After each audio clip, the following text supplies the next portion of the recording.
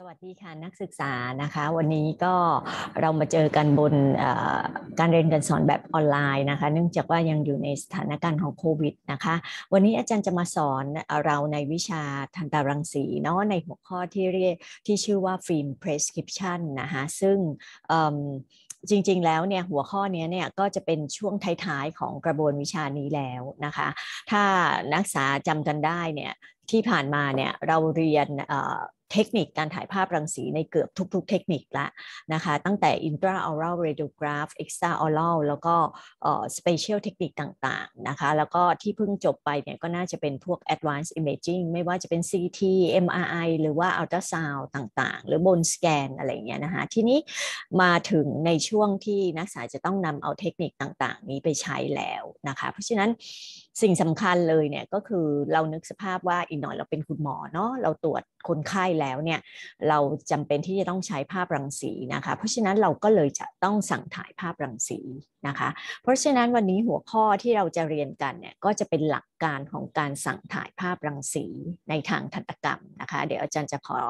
อนุญาตแชร์สกรีนนิดหนึ่งนะคะ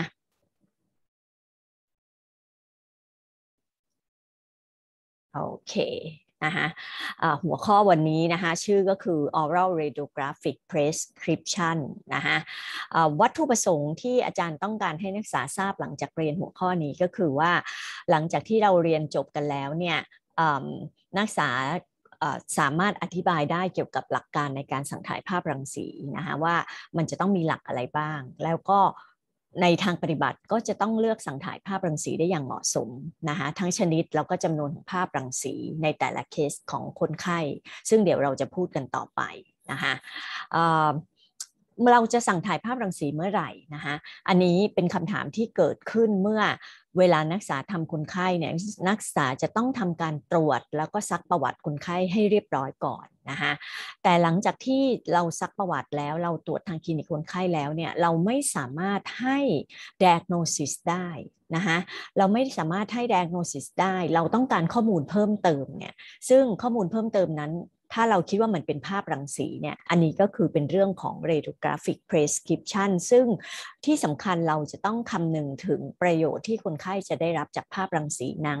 เปรียบเทียบกับ radiation hazard ก็คืออันตรายของรังสี ซึ่งนักศึกษาทราบกันอยู่แล้วว่า ไม่ว่า ปริมาณรังสีจะน้อยเพียงใดก็ตามเนี่ยมันก็ก่อให้เกิดอันตรายทั้งสิ้นนะคะเพราะฉะนั้นต้องชั่งน้ำหนักให้ดีว่า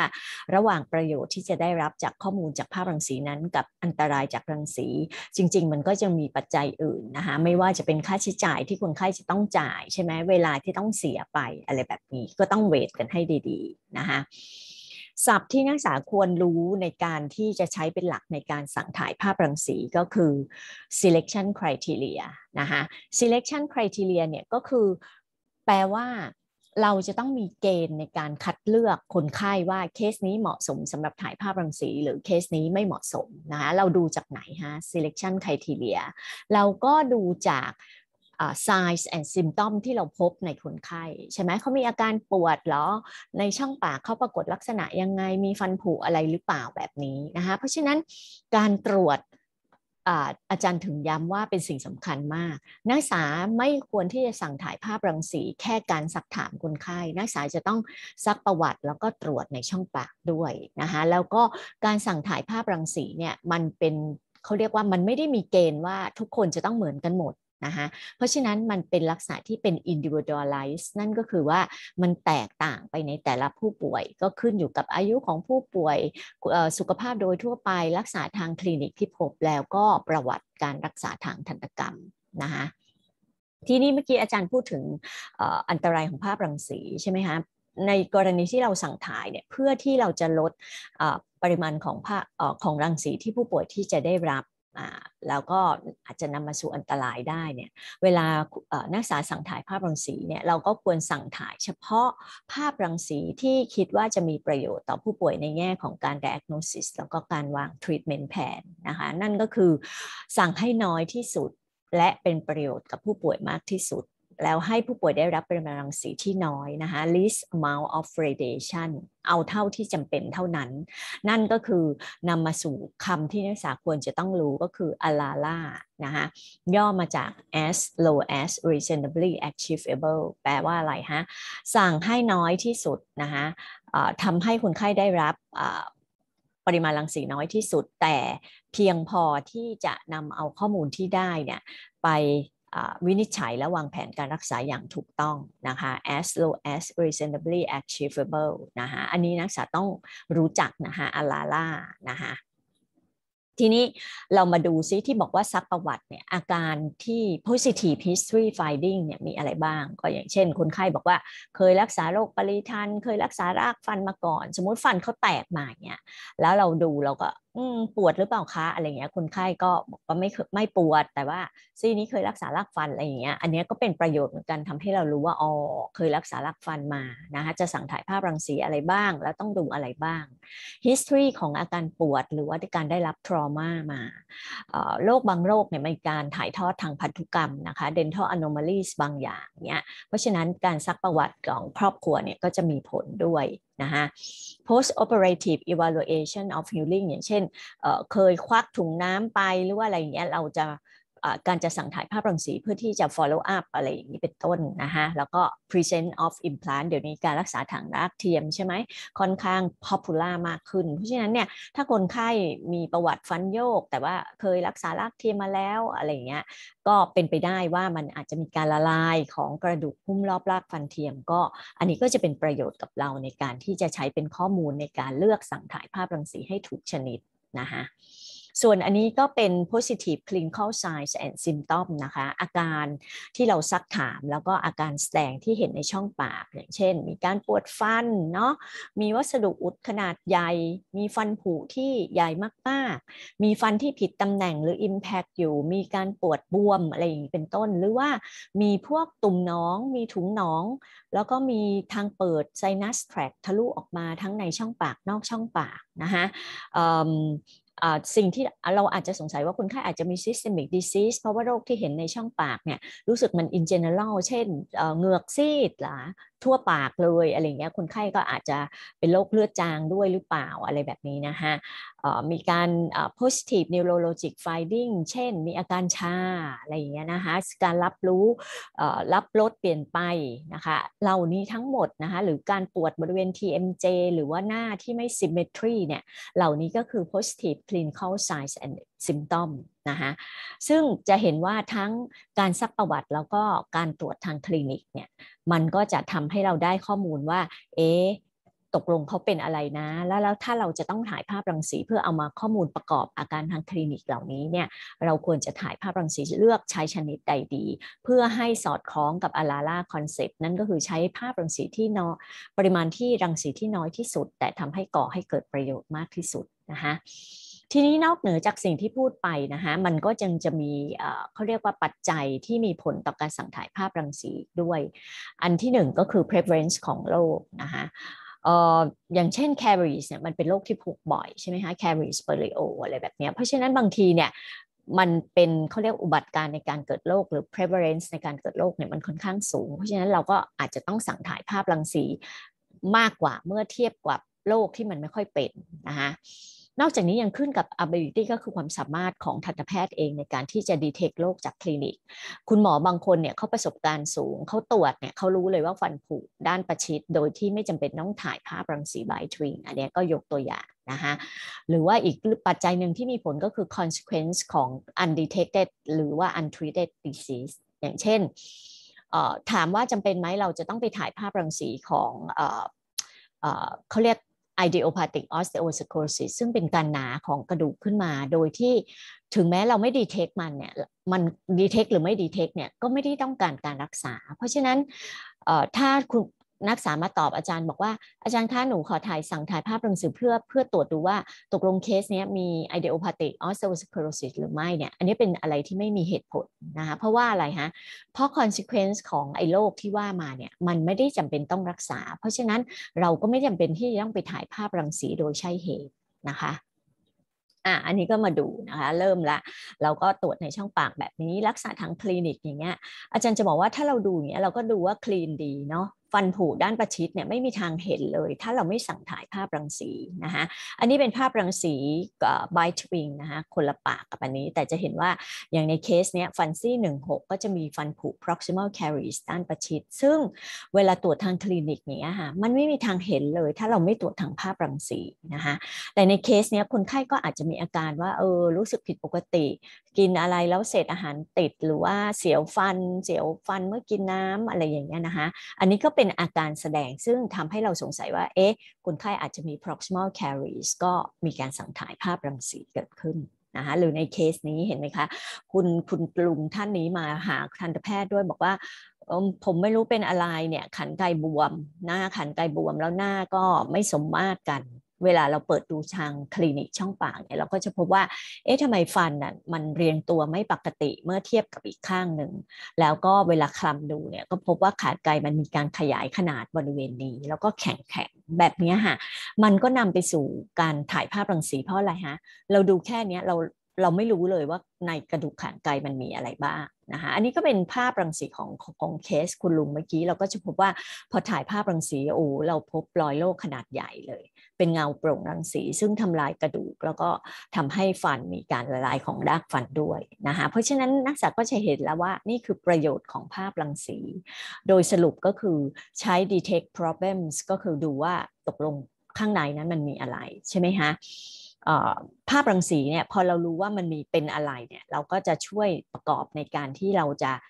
ว่าเราจะวางแผนการรักษาอย่างไร นะคะภาพรังสียังมีประโยชน์ในเคสที่เป็น monitor disease progression อย่างเช่น caries มันผุมากขึ้นไหมเมื่อระยะเวลาผ่านไปประมาณปีหนึ่งอะไรแบบนี้เป็นต้นหรือว่ารักษารักฟันไปแล้วตกลงรอยโรคปลายรากเนี่ยมันหายหรือเปล่านะคะนี่ก็รวมไปถึงการ evaluate ความสำเร็จหรือความล้มเหลวของการรักษา เช่น การรักษารากฟัน การฝังรากเทียมอะไรอย่างนี้เป็นต้น เพราะฉะนั้นทั้งหมดนี้ก็คือประโยชน์ของภาพรังสีนะคะทีนี้อาจารย์จะเข้าเรื่องในเรื่องของการสั่งถ่ายภาพรังสีละ โดยเราจะลองมาพูดกันทีละโรคนะคะว่าโรคที่พบเจอในบริเวณฟันแล้วก็กระดูกขานกายและใบหน้าเนี่ยเมื่อเราตรวจทางคลินิกแล้ว แล้วเราก็สงสัยว่ามันเป็นโรคเหล่านี้เวลาเราเจอเราจะสั่งถ่ายภาพรังสีอะไรบ้าง ในเรื่องของ caries เนี่ยจริง ๆ แล้วเราได้เรียนกันในวิชา caries แล้วนะคะแต่มาทบทวนนิดหนึ่งนะคะในทางภาพรังสีเนี่ยชนิดของ caries ก็มี occlusal proximal buccal lingual caries ที่สัมพันธ์กับ restoration ก็คือ secondary caries แล้วก็ root caries นะคะเรารู้ดีอยู่แล้วว่า ภาพรังสีที่ใช้ในการ detect caries ก็คือ bite ring หรือว่า periapical film นะคะใช้ในการ detection แล้วก็ใช้ในการดู extension ของ caries ซึ่งอาจารย์ได้สอนแล้วว่ากรณีที่มัน expose p o u มันอาจจะทำให้เกิดการเปลี่ยนแปลงบริเวณปลายรากฟันที่เรา เรียกว่าเกิด periapical lesion เนี่ย อันนี้เราก็จะดูได้จาก periapical film นะคะไบที่เป็นภาพที่ดีที่ใช้ในการ detect proximal caries เห็นไหมคะ ความลึกรวมถึง occlusal caries นะคะอ่าอันนี้ก็ แต่ในกรณีอย่างฟันซี่เนี้ยที่ฟันผุลึกๆ ทะลุโพรงประสาทฟัน ในเคสแบบเนี้ยเราก็น่าจะต้องสั่งถ่ายเป็นภาพรังสี periapical film ดีกว่า เพื่อที่จะดูว่าเอ๊ะบริเวณปลายรากเนี่ยมีความผิดปกติหรือไม่กรณีที่เป็น secondary caries แบบนี้นะคะเราก็เรียนกันมาแล้วว่า ถึงแม้เราถ่าย periapical film เนี่ยถ้ามันไม่ใช่เป็น parallel นะคะมันเป็น bisecting เนี่ยโอกาสที่วัสดุอุด ที่ทึบรังสีมันจะซ้อนทับกับ caries และทำให้เรามองไม่เห็นมันก็เกิดขึ้นได้ เพราะฉะนั้นในเคสที่เป็น secondary caries เนี่ยจริง ๆ แล้วภาพรังสีที่ดีที่สุดคือ bite ring นะคะแต่ว่าในกรณีที่นักศึกษาเลือกใช้เป็น periapical เนี่ยก็แนะนำว่าเป็น paralleling เทคนิคจะดีกว่านะคะอ่าเนี่ยอันนี้ก็กรณีที่ผุลึกๆ ใช่ไหมคะเราก็ใช้ periapical film เพื่อที่จะเพื่อที่จะดูว่ามันทำให้เกิดพยาธิสภาพรอบปลายรากหรือเปล่านะคะ ในการถ่ายภาพรังสีสำหรับ caries เนี่ยจริง ๆ แล้วเนี่ยบางครั้งน่ะเราจะใช้ภาพรังสีในการ follow up นะคะหรือดู progression ของ caries หรือว่าในการสั่งถ่ายเนี่ยทีนี้เราจะสั่งถ่ายทีมากน้อยแค่ไหนเนี่ยเขาก็ให้ดู medical condition ของผู้ป่วยด้วย อย่างเช่น คนไข้บางคนใช่ไหมคะน้ำลายน้อยเนื่องจากไปใช้รังสีรักษามาโอกาสเกิดฟันผุ น่าจะมากกว่าคนปกติทั่วไปเนี่ยความถี่ในการสั่งถ่าย เช่น อาจจะเรียกมาสั่งถ่ายทุก 6 เดือนอะไรอย่างเงี้ยก็แต่ถ้าเป็นคนทั่วไปอาจจะเป็นปีครึ่ง 2 ปีอะไรอย่างเงี้ยเป็นต้นนะคะอาหารที่คนไข้รับประทานใช่ไหมคะบางคนชอบกินของหวานจุบจิบ อันนี้ก็เป็นปัจจัยในการที่เราจะใช้ประเมิน เขาเรียก caries risk ใช่ไหมคะซึ่งนักศึกษาเขาได้เรียนแล้วในวิชา carry ถ้าเราประเมินแล้วนะคะ diet oral hygiene ของผู้ป่วยต่างๆเนี่ยโอ้ไม่ค่อยดี high risk caries เนี่ยความถี่ของการสั่งถ่ายภาพรังสีก็ย่อมถี่กว่าคนที่มี low risk caries นะคะ nature ของ caries นะคะบางทีรักษาทางคลินิกเนี่ยมันก็จะบอกเราได้ว่า carries นั้นอยู่ในช่วงที่ progress อย่างเช่นนิ่มๆอ่านิ่มๆนะคะสียังอ่อนๆขาวๆอะไรเงี้ยแต่ถ้าเป็น arrested caries เนี่ยมันก็จะแข็งๆไปแล้วอันนี้เราก็ไม่ต้องสั่งถ่ายเท่าไหร่ละเพราะว่ามันก็แข็งแล้วการ progress ก็ไม่ค่อยมี แต่ในขณะที่เป็น progression เนี่ยก็อาจจะต้องสั่งถ่ายทีนะคะอันนี้ก็มีไกด์ไลน์นะคะแต่ค่อนข้างเก่าแต่ว่าก็ไม่ค่อยได้เปลี่ยน ก็คิดว่าไม่ได้ไม่ได้เปลี่ยนแปลงอะไรไปมากนะคะ ในกรณีที่เราประเมินแล้วคนไข้เป็น high risk เนี่ยเราก็จะเห็นว่าไม่ว่าจะเป็นวัยเด็กวัยรุ่นหรือว่าวัยผู้ใหญ่เนี่ย ความถี่ในการถ่ายภาพรังสีเนี่ยก็มากกว่าในกลุ่ม low risk นะคะยกตัวอย่างในเด็กที่ high risk เนี่ยเราก็ควรสั่งถ่ายทุก 6 เดือน เพราะว่าฟันน้ำนมใช่ไหมคะ การ progression ของ caries ไปถึงเพาเนี่ยมันก็เกิดได้ง่ายกว่าในถ้าเทียบกับในฟันแท้ใช่ไหมคะเพราะเพาฟันน้ำนมเนี่ยมันค่อนข้างใหญ่ เพราะฉะนั้นความถี่ในการสั่งถ่ายเนี่ยก็ทุก 6 เดือน ในขณะที่ถ้าเป็น low risk ก็ประมาณปีถึง 2 ปี ถ้าในวัยผู้ใหญ่เนี่ยถ้าเป็นกลุ่ม high risk ก็ประมาณปีปีครึ่ง แต่ว่าถ้า low risk ก็ประมาณ 2-3 ปีนะคะเพราะฉะนั้นอันนี้ก็เป็นเรื่องของการสั่งถ่ายภาพรังสีในการ detect caries ในกลุ่มผู้ป่วยที่มีความเสี่ยงในการเกิด caries แตกต่างกันไปนะคะอันนี้ก็จบไปนะคะในเรื่อง caries เนื่องจากว่าเราเรียนแล้วเนาะในวิชา caries อาจารย์ก็จะไปค่อนข้างไหว ทีนี้มาถึงโรค perio ค่ะ อาจารย์ให้ดูภาพข้างล่างนี้นะคะนักศึกษาไม่ส่งถ่ายภาพรังสีเนี่ยอาจารย์ก็เชื่อว่านักศึกษา diag ได้ว่าคนไข้เป็นโรคปริทันต์ เพราะว่าเราก็ใช้เครื่องมือการตรวจไม่ว่าจะเป็น probe ใช่ไหมคะ probe ลึกลงไปปรากฏอันนี้เป็นตุ่มหนองอีกต่างหากนะคะแล้วก็เหงือกบวมแดงเนี่ยจริง ๆ แล้วถามว่าจากลักษณะทางคลินิกเนี่ยเราก็ diag ได้ทำไมเราต้องส่งถ่ายภาพรังสี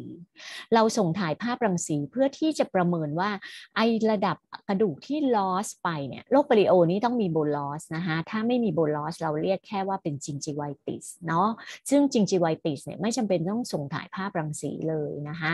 แต่ถ้าเป็น perio เนี่ยการถ่ายภาพรังสีเนี่ยจะใช้ evaluate aura bolus นะคะใช้ประเมิน local factor ที่สัมพันธ์กับโรคปริทันต์อย่างเช่นหินน้ำลายนะคะหรือว่าวัสดุอุดที่มี overhang อาจจะเป็นมีผลทำให้มี plaque accumulation สูงก็มีทำให้เกิด ปัจจัยร่วมของการเกิด caries ได้นะคะเพราะฉะนั้นโดยสรุปแล้วสำหรับโรคปริทันต์เนี่ยภาพรังสีเนี่ยจะใช้ช่วยในการ diagnosis แล้วก็ในการวางแผนการรักษานะคะใช้ในการ follow up แล้วก็ใช้ในการทำนาย prognosis ด้วยทำไม alveolar bone loss ที่แตกต่างกันไป มันก็จะส่งผลถึงการวางแผนการรักษาที่ต่างกันไปนะคะ ภาพรังสีที่ดีสำหรับ periodontal disease เนี่ยก็คือเป็น parallel selected periapical parallel technique หรือว่าร่วมกับ bite wing นะคะ bite wing เนี่ยจะเป็นภาพรังสีที่ให้ข้อมูลความสัมพันธ์ระหว่างเอาละบนเครสกับระดับ CEJ ได้ดีที่สุดถูกต้องที่สุดนะคะเพราะว่านักศึกษาเรียนมาแล้วเนาะหลักการมันก็คือลำรังสีผ่านมาตั้งฉากกับฟิล์ม ซึ่งวางขนานกับฟัน นะคะเพราะฉะนั้นเนี่ย bitewing จะเป็นภาพรังสีที่ดีที่สุด จริง ๆ มันจะไม่ต่างจาก parallel ถ้าเราวางฟิล์มได้ parallel จริง ๆ แต่ในเคสคนไข้ซึ่งมีลักษณะช่องปากที่แตกต่างกัน บางครั้งเนี่ยเราตั้งใจถ่าย parallel แต่ว่ามันไม่ได้วางฟิล์มแล้วมันไม่ parallel มันก็จะเป็น bisecting ไงลๆเพราะฉะนั้นในเคสแบบนี้เนี่ยข้อมูลของความสัมพันธ์ระหว่างระดับอัลลาโบนเครสกับ CEJ เนี่ย มันก็จะผิดเพี้ยนไปได้ เพราะฉะนั้นถ้าจะเอาเป๊ะๆเนี่ยอาจารย์ recommend by twin แต่ทีนี้นักศึกษาก็จะเห็นแล้วว่าอ่ามีศัพท์คำว่า horizontal กับ vertical by twin มันต่างกันยังไง แล้วจะรู้ได้ไงอะคะอาจารย์ว่าเคสนี้จะสั่งถ่าย horizontal เคสนี้จะสั่งถ่าย vertical ต้อง probe ค่ะนักศึกษา นะคะอาจารย์บอกแล้วว่าจะสั่งถ่ายภาพรังสีต้องตรวจทางคลินิก กรณีที่ถ้า probe แล้วคิดว่า bone มัน loss ใช่ไหมมากประมาณ 3มิล4มิลอะไรอย่างเงี้ยไม่เกิน 5มิลเนี่ยนักศึกษาสั่งถ่าย horizontal ไปเลยนะคะแต่ถ้า probe แล้วมันฟึบลงไปเลย 7-8มิลเนี่ยถ้าเราไปสั่งถ่าย horizontal ปรากฏว่าระดับ bone ที่ loss มันอาจจะอยู่ต่ำ ต่ำกว่าขอบฟิล์ม คือมัน loss ค่อนข้างเยอะ เพราะฉะนั้นในเคสนั้นให้เลือกใช้ vertical by t w i n g นะคะอันนี้ก็เป็นตัวอย่างนะคะเป็นตัวอย่างภาพรังสีที่เราใช้ดูอัลลาบูลอส อันนี้ก็เป็น periapical paralleling technique นักศึกษาจะเห็นว่าอาจารย์รู้ว่าเป็น parallel เพราะอะไร buckle กับ lingua cast ทับกันสนิท นะคะเพราะฉะนั้นเราจะเห็นว่าในเคสเนี้ยระดับบูลลอสเนี่ยอยู่ประมาณครึ่งล่างนะคะ moderate a u l a b u l l o s แต่ว่าในซี่นี้เราก็จะเห็นมี widening PDL space ด้วย เพราะฉะนั้นในเคสนี้เนี่ยการรักษาอาจจะต้องเป็น endo ร่วมกับการทำ prio นะคะเช่นเดียวกับฟันบนตรงบริเวณนี้ก็ loss ประมาณครึ่งล่าง อันนี้ก็เป็นตัวอย่างของ horizontal bite wing นะคะ เวลาเราดูระดับบูลลอสเนี่ยทวนกันอีกนิดนึงนะคะปกติแล้วระดับอัลลาบูลเครสเนี่ยจะอยู่ต่ำกว่า CEJ ประมาณ 2-3มิลนะคะในอันนั้นน่ะถือเป็นระดับปกติ นะคะเนี่ยยังดู bitewing เนี่ยนักศึกษาก็จะเห็นว่าถ้าเราลากเส้นระหว่าง CEJ ของฟันสองซี่ที่ติดกันเนี่ยไอตัว crest เนี่ยควรจะอยู่ต่ำจากเนี้ยประมาณ 2-3มิลนะคะอันนี้ก็ถือว่ามี loss นิดหน่อยเท่านั้นเองนะคะเป็น mild alveolar bone loss นะคะแต่ถ้ามัน loss ไปเยอะๆเนี่ยจากระดับที่ปกติแล้วแบ่งเป็น 3 ส่วนถึงปลายรากเนี่ยถ้า loss ต้นๆเราก็เรียกว่า mild loss ตรงกลางก็ moderate แล้วก็ loss ตรงปลายก็เป็นซีเวียนะคะ อันนี้เป็นตัวอย่างเปรียบเทียบภาพรังสี vertical bite wing กับ horizontal bite wing ที่อาจารย์บอกนะคะ กรณีที่เราโผล่ประมาณไม่เกิน 5 มิลเนี่ย เราสั่งถ่ายเป็น horizontal นะคะ เราก็ยังจะเห็นระดับ bone loss อยู่ แต่ถ้า bone loss เยอะๆ แบบนี้โผล่ลงไปเนี่ย ขอโทษที ค่อนข้างลึกนะคะเพราะฉะนั้นในเคสแบบนี้ถ้าเราไปสั่งถ่าย horizontal bite wing เนี่ยบางทีไอ ระดับ bone เนี่ยมันจะตกขอบฟิล์มนะคะเพราะฉะนั้นในเคสนี้เราก็สั่งถ่ายเป็น vertical เออนักศึกษาอาจจะมีคำถามว่าอาจารย์ขาแล้วทำไมไม่สั่งมัน vertical มันทุกเคสเลยอะไรแบบเนี้ยก็จะได้เห็นเห็นไปเลย จะบอกว่าไอ้ vertical bitewing เนี่ยค่ะโอกาสเกิดภาพ distort มันเกิดได้สูง เพราะนักศึกษาจะเห็นว่าพอวางฟิล์มในแนวตั้งเนี่ยบางทีฟิล์มมันจะโค้งไปตามช่องปากนะคะถ้าไม่จำเป็นจริง ๆ อาจารย์จะไม่ recommend vertical by doing นะคะ ต่อไปนะคะมาถึงกลุ่มโรคที่เรียกว่า dental anomalies นะคะอันนี้ก็เป็นภาวะผิดปกตินะคะที่นักศึกษาคงได้เรียนมาแล้วบ้าง dents in wax dense wax ฟันหายที่เราเจอกันบ่อยๆนะคะฟันคุดอะไรแบบเนี้ยอะนะคะที่ most frequency ที่เราเจอก็คือพวกฟันจำนวนฟันเกิน ฟันหายนะคะถามว่าในเคสที่ ตรวจทางคลินิกแล้วเจอลักเป็นแบบ supernumerary tooth อะไรเนี่ย เราจะไม่สั่งถ่ายภาพรังสีจนกว่าจะถึงเวลาที่เหมาะสมสำหรับการรักษา อันนี้พูดแล้วอาจจะไม่เข้าใจอาจารย์ลองให้นักศึกษาหลับตานึกภาพคนไข้คนคนไข้คนหนึ่งเดินเดินเข้ามานะคะเเป็นคนไข้ประมาณเจ็ดขวบนะคะคุณแม่พามาแล้วก็บอกว่า คุณหมอคะฟันหน้าของลูกเนี่ย มันทำไมไม่ขึ้นอ่า ฟันหน้าของลูกทำไมไม่ขึ้นอ่าเพื่อนเพื่อนในห้องขึ้นกันหมดแล้วนะคะปรากฏว่าตรวจดูในช่องปากปรากฏฟันน้ำนมไม่มีละเหงือกก็แบบกำลังตุงๆเลยกำลังแบบบวมเหมือนบวมบวมอะไรแบบนี้นะ ทีเนี้ยอย่างเคสเนี้ยอาจารย์ถามว่าต้องสั่งถ่ายภาพรังสีไหมน่าสายคิดดีๆนะคะฟันหน้าบนเราเนี่ยปกติก็ขึ้นประมาณ 7-8 ขวบ ในเคสนี้เนี่ยคุณแม่มาแล้วก็บอกว่าฟันไม่ขึ้นตอน 7 ขวบ เคสนี้ไม่จำเป็นต้องสั่งถ่ายภาพรังสีนะคะไม่จำเป็นต้องสั่งถ่ายภาพรังสี เพราะว่าอะไรฮะเราก็รู้อยู่แล้วมันเป็นช่วงที่อายุกำลังจะขึ้น จะไปถ่ายทำไมให้เขา expose ต่อรังสีโดยไม่จำเป็น เคสนี้เราก็คง recommend ว่า follow up ไปค่ะคุณแม่ ถ้าอีก 6 เดือนยังไม่ขึ้นค่อยกลับมาหาหมอใหม่ ในเคสแบบนี้ถ้า 8 ขวบ 9 ขวบก็แล้วยังไม่ขึ้น อันเนี้ย เราต้องถ่ายละ เพราะอะไรเออดูแล้วไม่ normal เนาะคนอื่นเขาขึ้นกัน 6 7 ขวบ แต่ว่าอันเนี้ย9ขวบแล้วฟันหน้าไม่ขึ้น มันมีอะไรหรือเปล่า มันมี super n u m e r y ไปฝังขวางไว้หรือเปล่า หรือมันมี compound odontoma ซึ่งซึ่งส่วนใหญ่เป็น common นะคะที่ทำให้ฟันไม่ขึ้นอะไรเงี้ยหรือว่าน้องมีรากงออะไรเงี้ยฟันไม่ขึ้น เพราะฉะนั้นเนี่ยเราจะสั่งถ่ายก็ต่อเมื่อเวลานั้นมีความเหมาะสมที่ใช้ในการรักษา นะคะถ้าเวลายังไม่ใช่ยังไม่ต้องรีบสั่งถ่าย เด็กเดินเข้ามาแล้วคุณหมอบอกขอสั่งถ่าย mix dentition เนี่ยเพื่อที่จะดูว่าฟันแท้ครบไหมอะไรเงี้ยอันเนี้ย nonsense มากไม่จำเป็น รู้แล้วได้อะไร มันไม่ได้ไม่ได้มีประโยชน์อะไร ถ้ามันไม่ได้มีผลต่อการวางแผนการรักษานะคะอันนี้ก็เป็นตัวอย่างฟันเกินนะคะซึ่งเราใช้ periapical ฟิล์ม ถามว่าในเคสนี้ทำไมถึงถ่ายล่ะคะอาจารย์ คนไข้มีชิฟคอมเพนว่าฟันหน้าห่างนะคะแล้วเราก็เห็นห่างตัวทางคลินิกแล้วเราก็ก็บอกอะไรไม่ได้เลยเอ็กซเรย์อันนี้ก็คือทำให้เราคนพบว่าสาเหตุที่ทำให้ฟันห่างเพราะว่ามันมีฟันเกินฝังคุดอยู่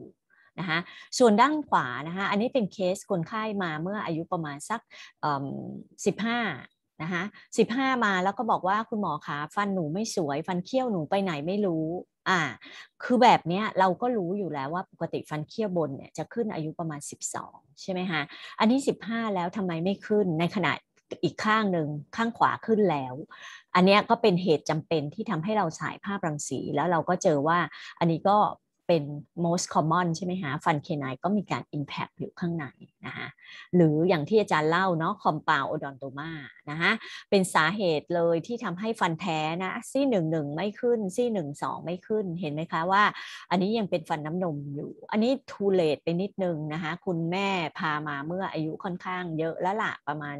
โอ้เป็นวัยรุ่นแล้วแต่ฟันไม่สวย คนไข้จะไม่รู้หรอกว่ามันฟันน้ำนมฟันแท้คนไข้บอกทำไมฟันมันขนาดไม่เท่ากัน นะคะเราก็ถ่ายภาพรังสี occlusal topographic นะคะเพราะว่าจะเห็น area ที่ค่อนข้างกว้างนะคะเราก็จะพบเป็น compound odontoma นะคะในเรื่องของ growth development นะคะที่มักจะถ่ายกันส่วนใหญ่แล้วก็จะเป็นเรื่องของในช่วงของ mixed dentition แล้วฟันมันไม่ขึ้นปกติตามอายุที่มันควรจะขึ้นนะคะหรือในเคสที่เป็นดูซี่แปดนะคะปกติแล้ววัยรุ่นเนี่ยก็ เป็นไงฮะ อายุ 17ถึง21 ปีใช่ไหมฟันคุดซี่สุดเออฟันซี่ 8 ควรจะขึ้น แต่ถ้าไม่ขึ้นแล้วคนไข้มีอาการปวดหรือถึงไม่มีอาการก็ตามเนี่ยเราก็ควรมีการถ่ายภาพรังสีเพื่อตรวจว่าตกลงฟันมันจะขึ้นไหมหรือมันฝังคุดอยู่จำเป็นที่จะต้องเอาออกหรือเปล่านะคะอันนี้เป็นภาพรังถ่ายภาพถ่ายรังสีของ mixed dentition นะคะในยุคสมัยหนึ่งเมื่อหลายสิบปีที่แล้วเนี่ย mix dentition เนี่ยเป็นอะไรที่เขาบอกว่าเวลาคนไข้ mix dentition มาเนี่ยให้สั่งถ่ายพานอรามิกไปเลย เพื่อที่จะดูว่าการ developing ของฟันน้ำนมฟันแท้เนี่ยมันปกติไหม คนไข้มีหน่อฟันขึ้นครบไหม แต่ปัจจุบันด้วย concept ของ ALARA concept ที่คำนึงถึงประโยชน์ที่คนไข้จะได้รับจากภาพรังสีเนี่ยไอ concept ที่ว่าทุกเคสต้องถ่ายเนี่ยมันก็ถูกลบล้างไป เพราะอะไรฮะถ่ายไปรู้แล้วได้ประโยชน์อะไรมันไม่ได้ประโยชน์ มันจะได้ประโยชน์ต่อเมื่อการขึ้นของฟันนั้น การพัฒนาของฟันนั้นไม่ปกติตามอายุ แล้วก็เวลาที่มันควรจะเป็นนะ อันนี้อาจารย์ย้ำเนาะแต่ถ้าเป็นซี่แปดแบบนี้โอเค อันนี้เนาะเราก็จะต้องถ่าย เพราะอะไรถ้ามันฝังอย่างเงี้ย มันชนรากฟันซี่เจ็ดมันก็ก่อให้เกิดอันตรายได้ คนไข้อยู่ในอายุช่วงที่ฟันควรจะขึ้นแต่ฟันไม่ขึ้น หรือในเคสเนี้ยตรวจทางคลินิกเราก็พบว่ามันเหมือนมีฟันโผล่มานิดเดียวเนี้ยแล้วมันชนฟันอย่างนี้อยู่นะคะเราก็ใช้ภาพรังสีในการถ่ายนะคะซึ่งส่วนใหญ่เราก็จะใช้ panoramic เนาะถ้าดูทีเดียวสี่ซี่เลยนะคะอ่า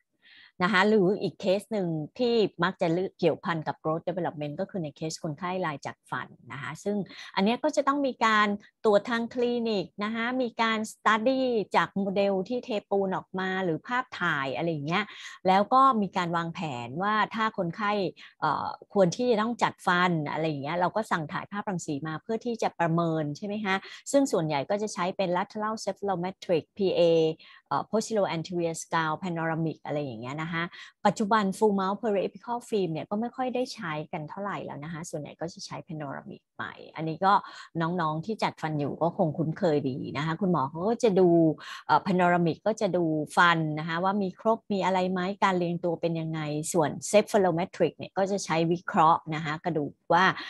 กระดูกขานไกมันเป็นยังไงนะคะก็จะได้วางแผนจัดฟันได้ถูกต้องนะคะทีนี้มาถึงอีกกลุ่มหนึ่งค่ะ ในการสั่งถ่ายภาพรังสีของกลุ่มโรคนี้คำว่า occult disease คืออะไรนะคะ occult disease เนี่ยก็คือเป็นโรคที่ไม่ได้ present clinical sign หรือ symptom ที่ผิดปกติ แต่ยกตัวอย่างนะคะจะได้เห็นชัดอย่างเช่น ถ้าเกี่ยวข้องกับฟันเนี่ย incipient caries หรือ caries ระยะเริ่มต้นเนี่ยถามว่ามันมีอาการอะไรไหม proximal เนี่ยมันมองไม่เห็นหรอกค่ะถามว่าแล้วเราจะต้องถ่ายภาพรังสีหรือเปล่าอะไรเงี้ยเดี๋ยวเรามาพูดกัน ลากที่โค้งงอเนี่ยมันก็เป็น occult disease อย่างหนึ่งก็คือไม่ได้แสดงอาการอะไรเลย แต่ว่าเออมันก็เป็นความผิดปกติที่พบ hyperpigmentosis ถามว่าเหล่านี้เราจะต้องมาถ่ายภาพรังสีเพื่อที่จะตรวจหามันไหม อย่าลืมในสไลด์แรก ๆ อาจารย์ก็บอกว่าให้พูดถึง prevalence ของโรคให้นึกถึง consequence ถ้าเราไม่เจอมันแล้วมันเป็นไหลหรือเปล่านะคะออ occult disease ที่เป็นกลุ่ม intra osseous ก็อย่างเช่น อย่างที่อาจารย์พูด idiopathic osteosclerosis นะคะ osteosclerosis ฟันที่มันฝังคุดอยู่โดยที่เราไม่เห็นเลยถุงน้ำเนื้องอกหรือว่าแม้แต่มะเร็งเนี่ยถามว่าเราต้องไปถ่ายภาพรังสีเพื่อหาโรคเหล่านี้หรือเปล่าคำตอบคือไม่ถ่ายนะคะเราจะไม่สั่งถ่ายภาพรังสี เพื่อแค่จะดูว่ามันมีความผิดปกติเกิดขึ้นไหม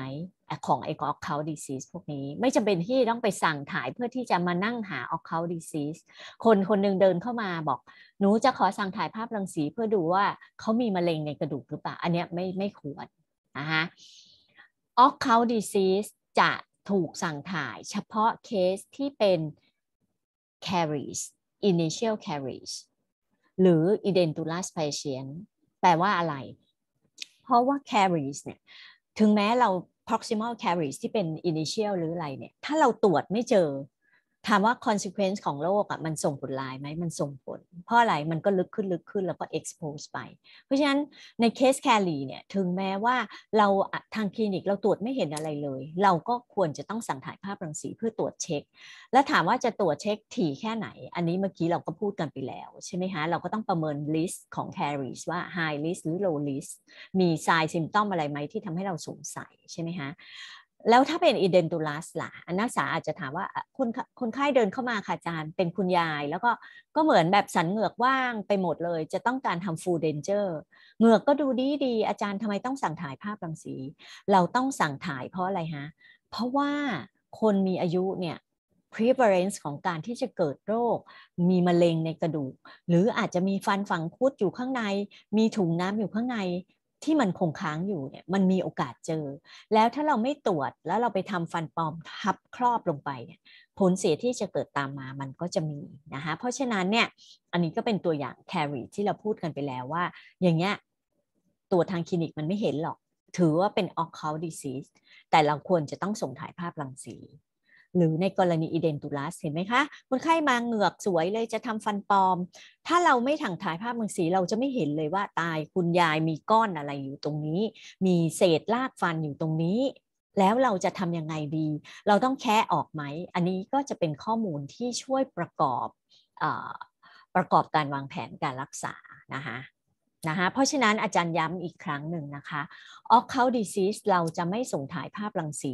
ยกเว้น 2 สภาวะเท่านั้นก็คือ initial caries กับ edentulous patient นะคะ caries ก็ส่วนใหญ่จะเป็น proximal ด้วยนะคะเพราะว่าถ้า caries บริเวณอื่นเนี่ยเราก็จะตรวจได้ทางคลินิก เช่น occlusal buccal lingual อะไรแบบนี้นะคะ ทีนี้มาถึงกลุ่มกรณีที่คนไข้มีจอพาโทโลจีเช่นถุงน้ำเนื้องอกโอดอนโตเจนิกทูเมอร์หรือว่าเป็นบีนายหรือเป็นมาลิกแนนอะไรแบบนี้เนี่ยการสั่งถ่ายภาพรังสีเราจะใช้หลักว่า ภาพรังสีที่ได้จะต้องให้ข้อมูลทั้ง 3 มิติ 3 มิติแปลว่าอะไร นอกจากเห็นในแนวแอนติโลโพสติเลียแล้ว เราต้องเห็นในแนวบัคโคลิงกัวด้วย เพราะฉะนั้นถ่ายยังไงก็ได้ให้ได้ข้อมูลภาพรังสี 3 มิติ ในปัจจุบันเนี่ยเรามีโคนบีมซีทีเนี่ยเราก็จะใช้ตรงนั้นมากขึ้น แต่ถ้านักศึกษาจบไปไปอยู่ในที่โรงพยาบาลที่ไม่ได้มีโคนบีมซีทีเนี่ยนักศึกษาควรอาจจะต้องใช้ภาพรังสีพื้นฐาน conventional มาประกอบกันหลายภาพรังสี นะคะเพื่อที่จะทำให้ได้ข้อมูล 3 มิติ เพราะฉะนั้นในกรณีที่เป็น small lesion เนี่ยเราก็จะสั่งถ่าย periapical film ใช่ไหมเราก็จะเห็นข้อมูลในแนว anterior posterior หรือว่า panoramic นะคะแล้วก็ plus กับฟิล์มที่ตั้งฉากกับอันนี้อย่างเช่น occlusal cross section ออย่างเช่น PA mandible หรือว่า PA skull นะคะในกรณีที่เป็น large lesion รอยโรคมันใหญ่มากและ extend ไปสู่ structure ที่ใหญ่สำคัญเนี่ยนักศึกษาต้องเอาพวก advanced technology เข้ามา อย่างเช่น CT MRI อะไรอย่างเงี้ยที่อาจารย์อาจารย์หมอการุณได้สอนไปแล้วนะคะเราลองมาดูภาพตัวอย่างจะได้เข้าใจอย่างในเคสเนี้ย นะเราจะเห็นรอยโรคเนี่ยมีขนาดใหญ่มากเลย ในแนว anterior posterior นะฮะอันนี้เป็นภาพ panoramic นะ extend ตั้งแต่ premolar ไปจนถึง ramus อาจารย์ถามนักศึกษาว่าแล้วในแนว buccolingual มันขยายไม่ขยาย มันใหญ่แค่ไหน เพราะฉะนั้นเราจะสั่งถ่ายภาพรังสีภาพก็คือ PA scale นะฮะเพื่อที่จะให้ข้อมูลว่ารอยโรคนี้มันก็มีการขยายออกทางด้าน buccal ทางด้าน lingual นะคะเพราะฉะนั้นอันนี้ก็คือหลักการของการสั่งถ่ายภาพมือสีคือ ถ่ายภาพมือสีสองภาพที่ตั้งฉากกัน เพื่อให้ได้ข้อมูล 3 มิตินะคะแต่กรณีที่มี CT ก็จบ CT MRI พวกนั้นมันก็จะเป็น 3 มิติอยู่แล้วนะคะนี่ก็เป็นตัวอย่างภาพรังสี Advance เห็นไหมคะ กรณีที่รอยโรคมันใหญ่มากแล้วมันลุกลามเข้าไปอย่างเช่นใน Maxillary sinus เนี่ยอันเนี้ยเห็นไหมเราก็ CT ไป หรือในเคสที่เป็นเนี่ยอันนี้เป็นรอยโรคที่ค่อนข้าง aggressive นะคะเป็นมะเร็งนะที่อยู่ในบริเวณกระดูกขานไกบน แล้วก็ extend เข้าไปอยู่ใน maxillary sinus แล้วก็ involve ในส่วนของกระดูกจมูกอะไรแบบเนี้ยอันเนี้ยเพื่อให้คุณหมอผ่าตัดเขาสามารถวางแผนรักษาได้อย่างถูกต้อง ก็จะต้องสั่งถ่ายที่เป็น advanced technology นะคะ ต่อไปนะคะก็จะเป็นกลุ่มโรคที่เราเรียกว่าที่เกี่ยวพันกับ temporomandibular joint นะคะซึ่งบางครั้งเนี่ยมันไม่ได้เป็นที่กระดูกอย่างเดียว แต่ว่ามันอาจจะเป็นที่ดิสนะคะหรือว่าที่กล้ามเนื้อใบหน้าที่เราเรียกว่า myofascial pain อะไรพวกนี้เป็นต้นนะคะถามว่าการสั่งถ่ายภาพรังสีสำหรับ TMJ เนี่ยอันนี้ก็ต้องซักประวัติ นะคะมีการตรวจทางคลินิกนะคะแล้วก็มีการตรวจคำกล้ามเนื้ออะไรหลาย ๆ อย่างเลยนะคะ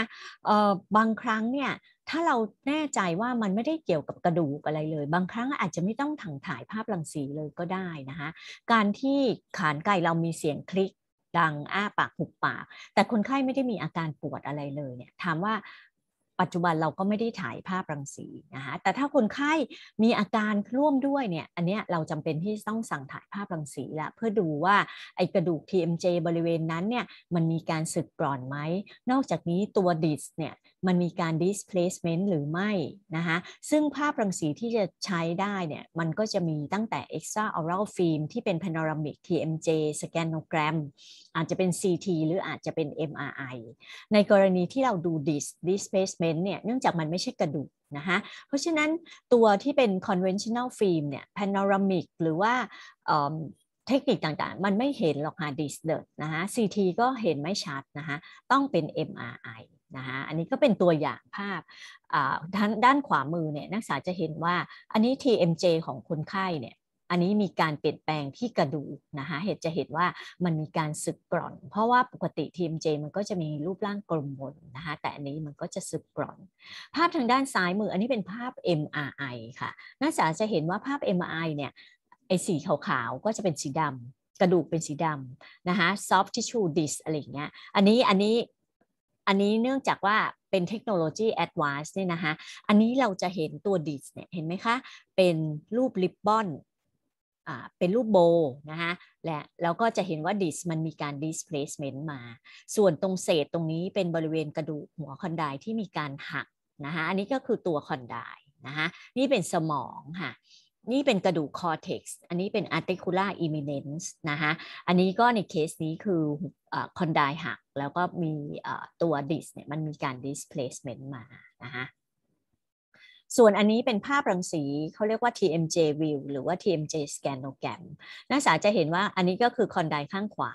ที่อยู่ใน glenoid fossa คนไข้กัดฟันปกตินะคะอันนี้ก็เป็นข้างซ้ายนะคะหัว condyle เนาะอยู่ใน glenoid fossa เวลาเราถ่ายเราก็จะให้เขากัดฟันก่อน แล้วพอถึงจังหวะเราก็จะบอกให้เขาอ้าปาก จะเห็นว่าอันเนี้ยจากหัวคอนไดที่อยู่ในกรีนอยเนี่ยเขาก็จะมีการเคลื่อนออกมา นะคะมีการเคลื่อนออกมาจากตำแหน่ง อันนี้ก็อันนี้ก็เป็นของอีกข้างหนึ่ง ภาพนี้เราก็จะใช้ดูรูปร่างของหัวคอนไดใช้ดูการ translation ในขณะอ้าปากว่าปกติหรือไม่นะคะเราก็เรียกว่า TMJ scanogram นะคะ ปัจจุบันเนี่ยเรามีการใช้ implant เยอะขึ้น ภาพรังสีเนี่ยก็จะมีผลช่วยทั้งในช่วง pre-surgical นั่นก็คือใช้ในการวางแผนการรักษา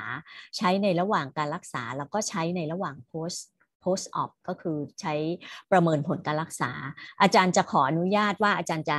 ข้ามไปเร็วๆเลยนะคะ ภาพรังสีสำหรับ implant เนี่ยเราจะได้เรียนในวิชาที่เกี่ยวข้องกับ implant อีกที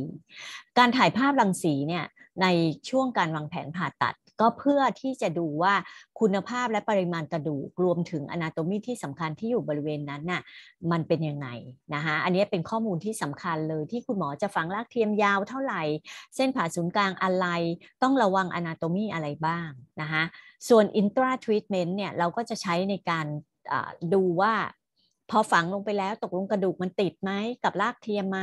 หรือว่าแนวการฝังถูกต้องหรือเปล่านะคะ post surgical evaluation ก็คือหลังจากที่ครอบฟันไปแล้วแล้วก็ follow up นะเราก็จะดูว่าตกลงใช้ไปปีหนึ่งสองปีมันเป็นยังไงบ้าง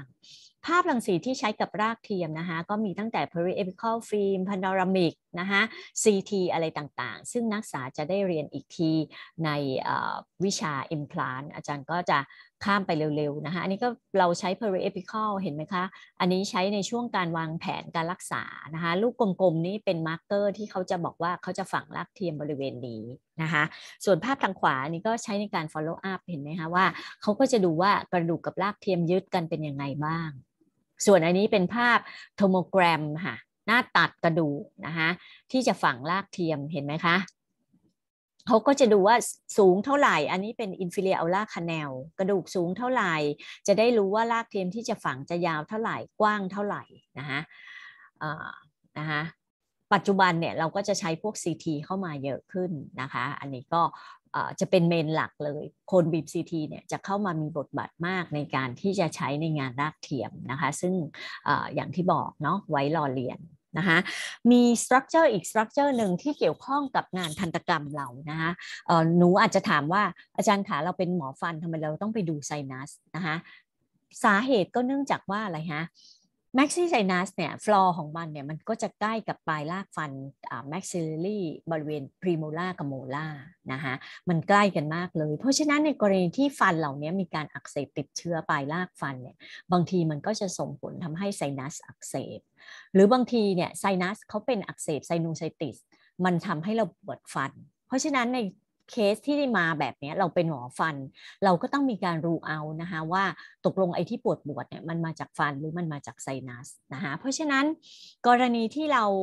จะดู floor of maxi sinus เนี่ยภาพที่เห็น floor ชัดๆ ก็คือ periapical film กับ panoramic นะคะแต่ในกรณีที่เราต้องการดู wall อื่นๆของไซนัสเช่น posterior wall หรือว่าเอ่อ superior wall อะไรแบบนี้ water's view จะเป็นภาพรังสีที่ดี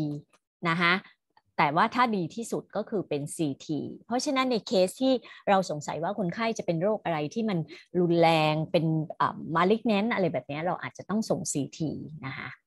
อ่าเราก็มาดูกัน อันนี้เป็น peripical film เราจะเห็นว่าอันนี้ก็เป็น floor ของ maxi sinus เราจะเห็นว่าฟันซี่6เนี่ยเขาก็มีพยาธิสภาพปลายลาก มันก็จะทำให้เกิด mucositis นะ มีการอักเสบของอ่อ mucus membrane ที่อยู่ใน maxi sinus ด้วยนะคะ แม็กพานารามิกก็จะเป็นภาพที่เห็น floor of maxi sinus ได้ชัดเจน ในบางเคสเนี่ยคุณหมอถอนฟันแล้วก็ลากฟันหักทะลุเข้าไปในไซนัสเนี่ยพอหักปุ๊บเนี่ยส่วนใหญ่เขาก็จะส่งมาไม่ periapical film ก็ panoramic นะคะเพื่อที่จะดูว่า floor ของ maxillary sinus เนี่ยมันมีการขาดตอนหรือเปล่านะคะแล้วรากฟันที่หลุดเข้าไปใน maxillary sinus มันอยู่ตรงไหนเป็นต้น ส่วน Waters' view เนี่ยก็เราอันนี้หมอหมอดูนะคะอันนี้เป็นข้างที่ปกติค่ะ เราก็จะทำให้เห็นผนังทางด้าน lateral wall medial wall นะคะฟลอร์นี่มองเห็นไม่ค่อยชัด แล้วก็ superior wall ในเคสนี้คนไข้มีพยาธิสภาพ ซึ่ง extend เข้าไปใน maxillary sinus เข้าไปในกระดูกเบ้าตานะคะอันนี้เราก็ถ่ายเป็น water swill นะคะ water swill trauma นะคะในเรื่องอุบัติเหตุหรือว่า เขาเรียกว่าอะไรอะทรมาได้รับการกระทบกระเทือน มันก็จะมีทั้งที่เกี่ยวข้องกับทันตแพทย์ก็มีเรื่องฟันเรื่องของกระดูกขากรรไกรนะคะอันนี้เนี่ยอาจารย์ก็จะเอาไปสอนในวิชาทรมานะคะแต่เรารู้หลักการเบื้องต้นก็แล้วกันว่า ในกรณีเคสคนไข้ที่เป็นทรมาที่เกี่ยวข้องกับฟันเนี่ย สิ่งภาพที่เรามักจะถ่ายกันก็คือ peripheral film มีการชิปทิวเพื่อที่จะดูว่ารากฟันมันมีการแตกหักหรือเปล่า อาจจะใช้ occlusal film กรณีที่เป็นฮะฟันได้รับบาดเจ็บหลายซี่ เช่น เวลาล้มกระแทกเนี่ยมันไม่ได้เป็นซี่เดียวแต่เป็นหลายซี่ เราก็จะฉาย occlusal film ใช้ panoramic เพื่อดูภาพโดยรวม maxilla mandible มีการแตกหักหรือเปล่าแล้วก็กรณีที่มี trauma บริเวณ mid face หรือว่า maxilla เนี่ยเราก็ส่วนใหญ่เราก็จะส่ง CT นะคะอันนี้เป็นหลักหลักหลักคร่าวๆเลย แต่นักศึกษาจะได้เรียนละเอียดอีกทีในวิชา trauma นะคะอันนี้ก็เป็นตัวอย่างภาพรังสีออคูซอลของขานไกที่หักเห็นไหมฮะ มีหักแล้วก็มีเศษที่มีแฟกเมนต์ที่มันมีการชิฟมาด้วยนะคะพาโนรามิกเห็นไหมคะ ก็ใช้ดูการแตกหักของกระดูกขากันไก่ CT นะคะอันนี้ก็กรณีที่แตกหัก Advance เนี่ยเห็นไหมคะ สร้างเป็นภาพ 3 มิติ มีการแตกหักบริเวณ Zygomatic Arch นะคะเนี่ยนะคะก็เป็นอย่างนี้นะคะโคนบีม CT อันนี้ เป็นเทคนิคที่งปัจจุบันเนี่ยเป็นที่นิยมใช้ในแวดวงของพวกเราทันตแพทย์มากขึ้นนะคะอันนี้พูดภาพโดยรวมว่ามันใช้สำหรับวินิจฉัย และวางแผนรักษาเกือบทุกโรคในทางทันตกรรมนะคะภาพที่ได้เนี่ยมันก็จะได้ทั้ง coronal view sagittal view axial view แล้วก็สามารถ reformat สร้างเป็น 3D หรือ 3 มิติได้ ที่นิยมกันเราก็ใช้ในงาน implant นะคะ ปัจจุบันเนี่ยใช้เยอะแยะเลยในการดูจอบนพัทโลจีนะคะในการดู impact นะคะในการวางแผนฝังรากเทียมนะคะงาน ortho นี่ก็มีใช้บ้าง perio นี่ไม่ค่อยได้ใช้ แต่ว่าเป็นผลพลอยได้ว่าเราก็จะดู bone loss ได้ดีขึ้น เพราะว่าถ้าภาพรังสีแบบดั้งเดิมเนี่ยมันก็จะให้ข้อมูลแค่ 2 มิตินะคะงาน endo นะคะดูจำนวน root canal ดูรากแตกอะไรแบบนี้เป็นต้นดู lateral canal tooth fracture เนี่ยบางทีเนี่ยถ้าเราถ่าย periphery epical film ที่เป็น conventional มองไม่เห็นเนี่ยบางทีเราก็จะใช้ CT หรือแม้แต่ TMJ ทั้งหมดนี้ก็เป็นเรื่องของ การสั่งถ่ายภาพรังสีนะคะซึ่งอาจารย์ก็อยากจะให้นักศึกษาทราบหลักการนะคะว่าเรามีหลักการยังไงบ้างในการสั่งถ่ายภาพรังสีนะคะแล้วก็ที่สำคัญคือต้องมีการตรวจทางคลินิก มีการซักประวัติให้ดีก่อน แล้วเราคิดก่อนว่า เอ๊ะ ตกลงจากข้อมูลที่เราได้เนี่ย เราสงสัยว่าคนไข้เป็นไร ถ้าเราสงสัยว่าคนไข้เป็นไรเราก็ต้องเลือกสิว่าภาพรังสีชนิดไหนที่มันเหมาะสมสำหรับเคสนั้นๆ อาจารย์จะสอนนักศึกษาเสมอเลยว่า เวลาเราไม่สบายคุณหมอสั่งยาให้เราไม่ถูกชนิดเนี่ยเราก็ไม่หาย เช่นเดียวกันนะคะถ้าเราสั่งถ่ายชนิดของภาพรังสีไม่ได้เหมาะสมกับโรคที่มันเป็น หรือที่เราสงสัยเนี่ยบางครั้งเราก็จะดีเทคอะไรไม่ได้เลยนะคะเเช่นเราอยากดู proximal c a l i initial proximal c a l i แต่เราไปสั่งพานอรามิกภาพรังสีพานอรามิกมันไม่ได้ให้ความละเอียดอะไรดีเลย เพราะฉะนั้นเราก็อาจจะมิสไปได้แคลีนั้นๆนะคะอันนี้ก็เป็นตัวอย่างนะคะเพราะฉะนั้นทั้งหมดนี้ก็เป็นเรื่องที่เกี่ยวข้องกับฟิล์ม prescription นะคะก็อาจารย์ก็จะขอจบการบรรยายเพียงแค่นี้หากนักศึกษามีคำถามสงสัยอะไรเนี่ยนักศึกษาก็สามารถที่จะติดต่อผ่านทางแชททางอะไรมาได้นะคะก็ งั้นก็ขอจบการบรรยายไว้เพียงเท่านี้ค่ะ สวัสดีค่ะ